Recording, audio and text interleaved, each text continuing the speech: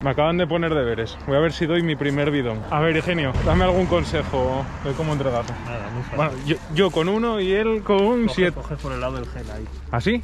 Ahí, coges por la parte de abajo. Coño, me lo dijo al revés este. Claro, Iñaki me dijo así. Yo sí, yo siempre doy así. ¿Qué hago? Lo cojo por el medio al final, ¿eh? Como te salga de los cojones.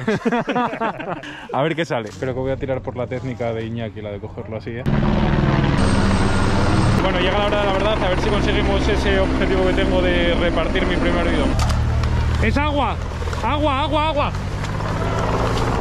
Lo vi.